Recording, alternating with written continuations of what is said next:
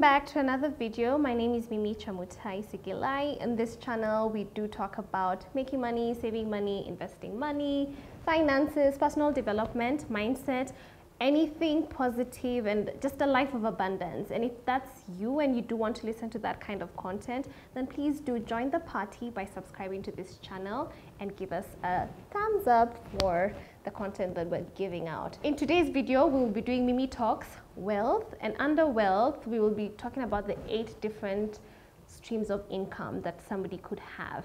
So there's a verse in the Bible that talks about having multiple streams of income. I will plug it in here.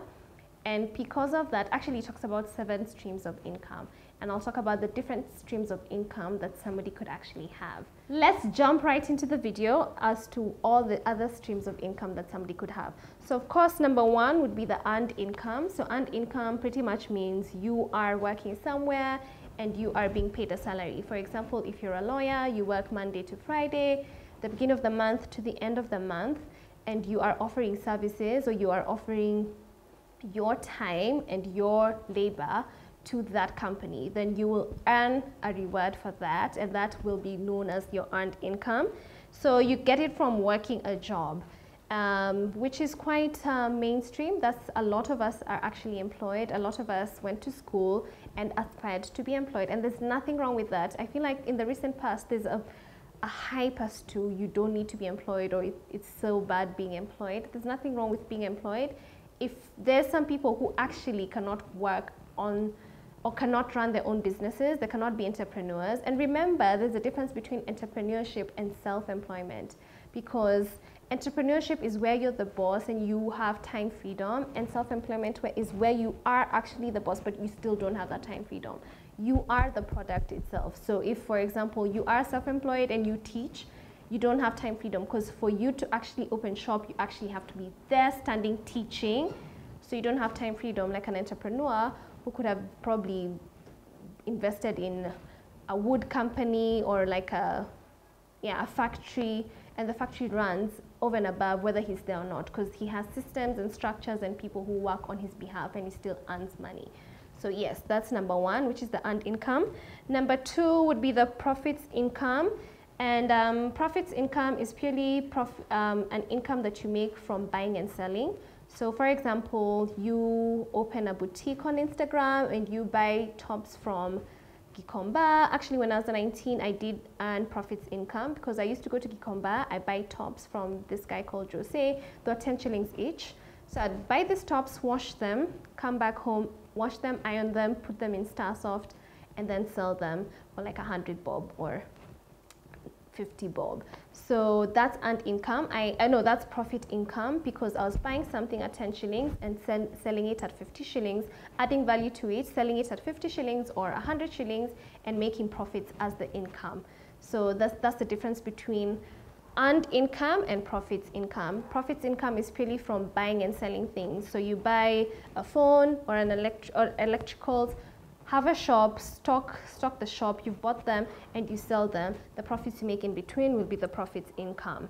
The other one would be interest income. Um, interest income is if you are lending money to people and they are paying an interest to you. So if you're like a Shylock or you're somebody who lends people money and they do pay back with an interest on top, so you make your money from that interest that comes on top of it. So they are actually people who make a living from that. They give you money and they expect you to return with an interest. Same thing like chamas. If you do table banking, you are in a chama, you are given money and you expect to return it with interest. So the, the chama is only making money or making profits because of the interest that that money that was borrowed is accruing. So that's another stream of income you could want to venture in. Um, Another one would be capital income. Capital income purely means you do have an asset and your asset has gained value. So as the asset gains value, you start earning capital income.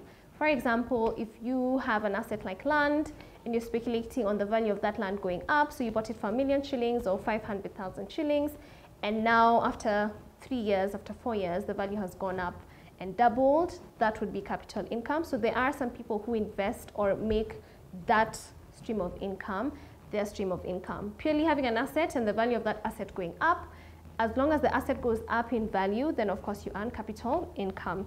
The other one would be dividend income, which I'm quite passionate about because I work for an investment bank.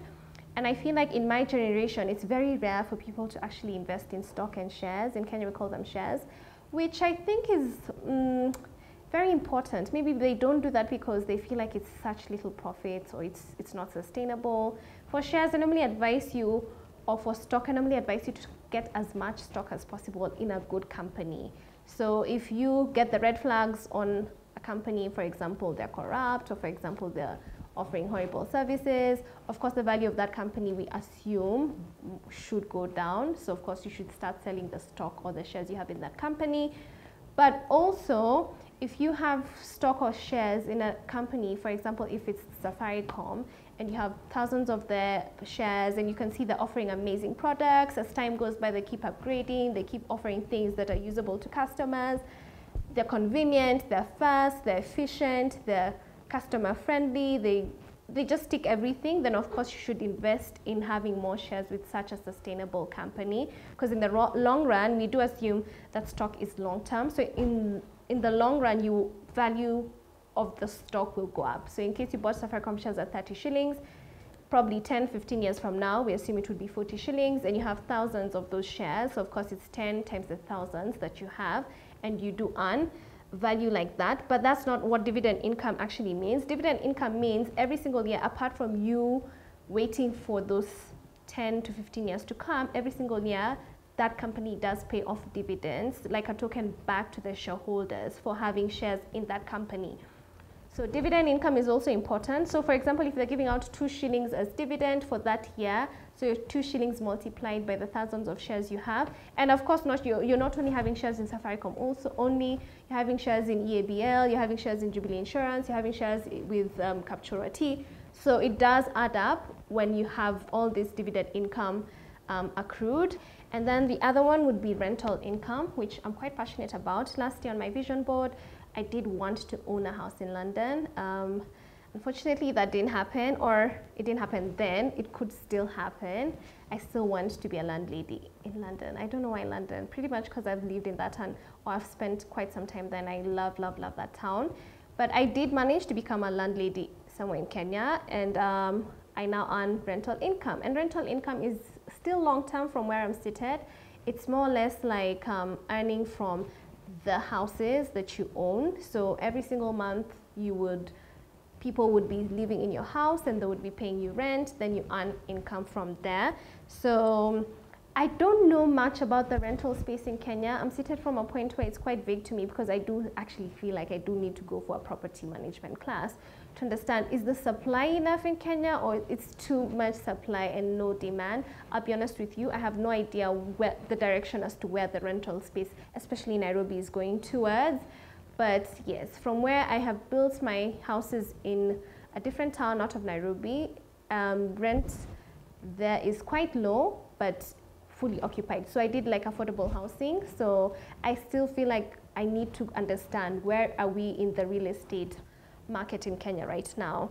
Um, then the other one would be your royalty income. Royalty income, royalty income, and this I did get from a friend of mine. He's a genius, he's so smart. So all he does is come up with beautiful ideas and then he sells his ideas to people and he earns a royalty for that. So he'd come up with an idea that the transport system, for example, in Kenya needs this and this structures input or for example, the person who came up with M-Pesa, I'm sure it was an idea that he did sell to somebody and somebody did pay him royalty for that idea. So all the ideas you do have in your mind, guys, please don't um, just sit on them. You should work towards monetizing those ideas purely because ideas can actually come into reality. Um, as a man thinketh, so is he. So whatever you think and put in your mind and creatively come up with, you can put that into a system or sell that idea to somebody who actually has the money to, or like an angel investor who can invest in that idea and get it running. So you will earn royalty income. So don't feel like, oh, I have so many ideas, but I can't monetize it. Yes, you can monetize your idea. You just need to be seated with the right people, share your ideas with the right people. Don't talk to the wrong people. And also, of course, mindset. If you do have a limited mindset, then of course, you will feel like you are less of the idea or you don't your idea cannot be monetized but you do have a mindset of abundance then definitely or a positive mindset then definitely you will find a way of monetizing that idea um, and of course, an idea is not an idea if it doesn't have a problem and a solution. So you also have to have the problem as to what you feel like the problem is and the solution to that problem and somebody would buy in and pay you royalties. Finally, we do have residual income and a lot of people do ask me what is residual income. So do you hear guys saying I sleep and wake up and I earned money in my sleep? So that is what residual income pretty much means in layman language. For me, I would explain it simply as um, you did something three, four months, you did it January, February, March, and you're still earning in December from the things that you did in January, February, March. So it, residual is it just keeps it keeps you keep getting paid for work that you did long time ago. So residual income is very very important, especially if you're trying to grow generational wealth. It's pretty much income that you put in work now and get it and get paid for it now and also later and I know this is usually especially if you are doing like affiliate marketing so you market things now and people get to sell buying now you earn from the buys now and as time goes by people still keep buying and buying and buying if they keep buying up until that December, then of course you'll still keep getting paid up until that December for the affiliate marketing that you did in January, February, and March. So I hope you understood what residual income is. I do pray and hope that this video did um, make somebody understand I belong to this lane or even I feel like Kenyans are quite ambitious or even have all of them as streams of income. So you can say, I want to do this, that will give me profit income. I want to do this, that will give me earned income. I want to do this, that will give me residual income. I mean, it's a life of abundance. There's nothing stopping you from having all the streams of income because you never know which direction the wind will blow. And you never know if this one is not giving money today, if your rental spaces are empty today, then at least you have royalties you're still earning or at least you have dividends that you're still collecting. So I hope this video did guide you on how to build wealth step by step.